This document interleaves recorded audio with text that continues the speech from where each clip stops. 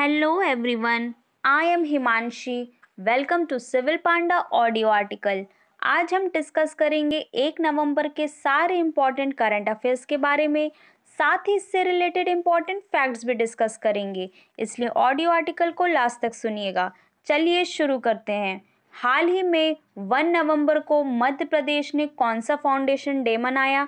तो इसका आंसर है सिक्सटी सिक्स मध्य प्रदेश ने वन नवंबर को सिक्सटी सिक्स फाउंडेशन डे मनाया गया है दोस्तों।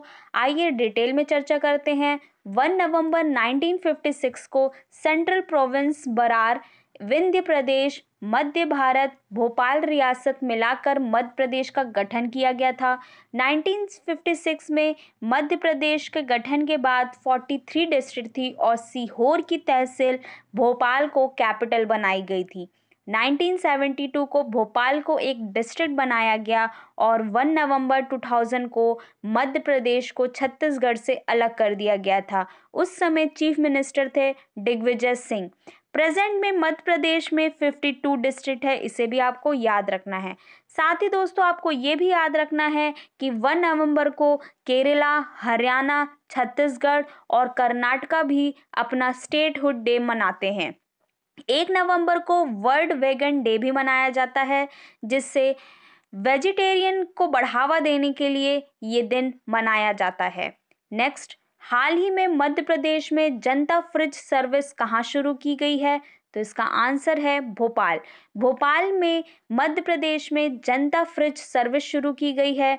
भोपाल में चूना भट्टी स्थित बुद्ध विहार के पास ये जनता फ्रिज की शुरुआत की जा रही है। दोस्तों, यहाँ कोई भी व्यक्ति खाने, पीने और ज़रूरत की सामान रख सकता है और कोई भी ज़रूरतमंद बगैर किसी के अनुमति के यहाँ से सामान ले जा भी सकता है। नेक्स्ट हाल ही में अमेरिका ने अफ़गानिस्तान के लोगों के लिए कितने मिलियन डॉलर की हेल्प करने की अनाउंसमेंट की है? तो इसका आंसर है 144 मिलियन डॉलर। अमेरिका ने अफ़गानिस्तान के लोगों को हेल्प करने के लिए 144 मिलियन डॉलर के लिए हेल्प करने की घोषणा की है। बात करें अफ़गानिस्तान की तो इसकी कैपिटल है काबुल। काबुल में ही दोस्तों भारत के फ़र्स्ट मुगल एम्पर बाबर का टॉम्ब है, इसे भी आपको याद रखना है। न्यू प्राइम मिनिस्टर हैं, जो कि तालिबान के हैं, ये मुल्ला हसन अखुंद। अफ़गानिस्तान की सीमा लगती है Bharat, Pakistan, Iran, Turkmenistan, Uzbekistan, Tajikistan व चीन से। इसे भी आपको याद रखना है। नेक्स्ट हाल ही में किसने G twenty United finance and health minister की मीटिंग को एड्रेस किया है? तो इसका आंसर है डॉक्टर मनसुख मांडविया डॉक्टर मानसुख मांडविया जो कि हमारे हेल्थ मिनिस्टर हैं, इन्होंने G twenty United finance and health minister की मीटिंग को एड्रेस किया है। जी ट्वेंटी मीटिंग की सिक्सटीन मीटिंग इटली में चल रही है दोस्तों। जी ट्वेंटी में कंट्रीज़ जो आते हैं, उसे एक बार रिवाइज कर लेते हैं। ये क्वेश्चन हाल ही में कुछ एग्ज़ाम में पूछा गया था, इसलिए आपको जी ट्वेंटी के कंट्रीज़ के नाम याद होने चाहिए। नॉर्थ अमेरिका से Canada USA Mexico South America से ब्राज़ील अर्जेंटीना अफ्रीका से साउथ अफ्रीका यूरोप से यूके फ्रांस इटली जर्मनी और एशिया से Turkey, Saudi Arabia, India, China, Russia, Japan, South Korea, Indonesia और ऑस्ट्रेलिया ऑस्ट्रेलिया कॉन्टिनेंट से और European union organisation शामिल है जी ट्वेंटी में। तो इसे आपको याद रखना है। नेक्स्ट, हाल ही में हुनर हट के थर्टीथ एडिशन को इनाग्रेशन किस सिटी में किया गया है? तो इसका आंसर है देहरादून।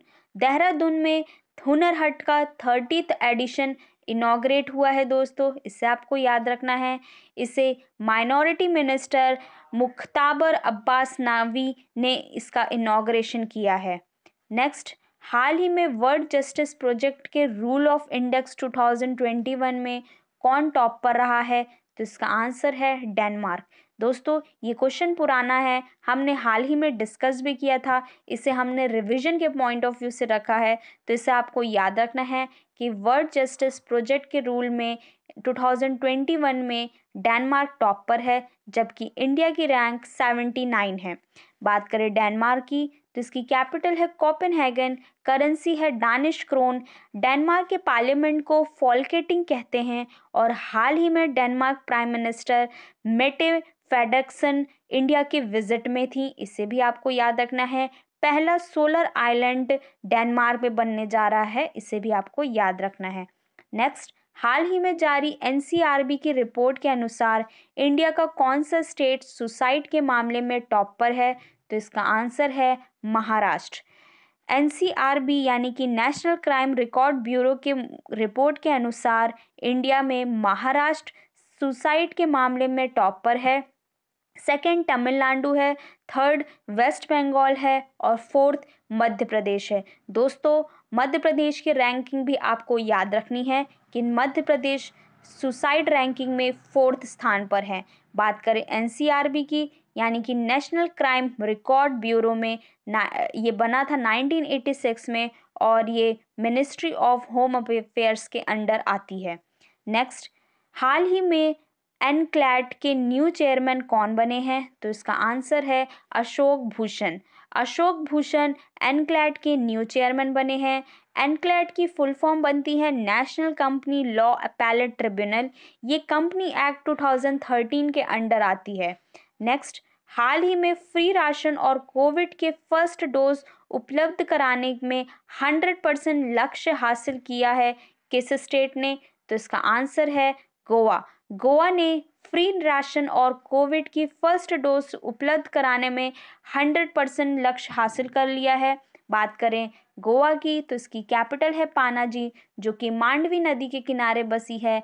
चीफ मिनिस्टर हैं प्रमोद सावंत गवर्नर हैं P S Sreedharan Pillai. Lok Sabha seat है यहाँ की टू और राज्यसभा सीट है यहाँ की वन इंडिया का सबसे छोटा स्टेट है गोवा, और जबकि जीडीपी पर कैपिटा के मामले में पहला स्टेट है गोवा। गोवा से रिलेटेड तीन डेट आपको याद रखनी है। गोवा रिवॉल्यूशन डे मनाया जाता है 18 जून को। इस दिन 1946 में राम मनोहर लोहिया के नेतृत्व में पोर्टुगीज के विरुद्ध में आवाज़ उठाई थी। 19 दिसंबर को गोवा लिबरेशन डे मनाया जाता है और गोवा इस्टेब्लिशमेंट डे 30 मई को मनाया जाता है। तो ये सारे फैक्ट्स आपको याद रखने हैं। साथ ही दोस्तों, पानी बचाओ योजना गोवा में लॉन्च की गई है। देश का पहला रेबिस मुक्त राज्य गोवा बना है। गोवा एकमात्र स्टेट है जहाँ पे यूनिफॉर्म सिविल कोड लागू है। भगवान महावीर वाइल्ड लाइफ सेंचुरी जिसे पोलम वाइल्ड लाइफ सेंचुरी भी कहते हैं, ये गोवा में है। गोवा में जीआई टैग मिला है मोयारा, केला और हरमल मिर्च को। तो ये सारे फैक्ट्स आपको याद रखने हैं गोवा के बारे में। नेक्स्ट हाल ही में वर्ल्ड किक बॉक्सिंग चैम्पियनशिप में तजुल इस्लाम ने कौन सा मेडल जीता है? तो इसका आंसर है gold. World kick boxing championship में तजुल इस्लाम ने गोल्ड मेडल जीता है। दोस्तों, ये कायरा इजिप्ट में चल रहा है। तजुल इस्लाम जम्मू कश्मीर की रहने वाली हैं। बात करें इजिप्ट तो इसकी कैपिटल है काहिरा करेंसी है इजिप्टियन पॉन्ड 21 देशों के साथ ब्राइट स्टार संयुक्त अभ्यास की मेजबानी इजिप्ट ने की थी। साथ ही दोस्तों, आपको ये भी याद रखना है कि स्विच कैनाल को कंट्रोल इजिप्ट के पास है। नेक्स्ट, हाल ही में यूनाइटेड स्टेट के नेशनल ड्रग कंट्रोल पॉलिसी के डायरेक्टर किसे अपॉइंट किया गया है? तो इसका आंसर है डॉक्टर राहुल गुप्ता। डॉक्टर राहुल गुप्ता को यूनाइटेड स्टेट के नेशनल ड्रग कंट्रोल पॉलिसी के डायरेक्टर अपॉइंट कर दिया गया है दोस्तों। तो ये था आज का डिस्कशन। आई होप आप लोग को पसंद आया होगा। आज का क्वेश्चन है, हाल ही में वन नवंबर को मध्य प्रदेश ने कौन सा फाउंडेशन डे मनाया? इसका आंसर आपको कमेंट बॉक्स में देना है। ऑडियो आर्टिकल पसंद आए तो इसे लाइक, कमेंट एंड शेयर करें। हिंद।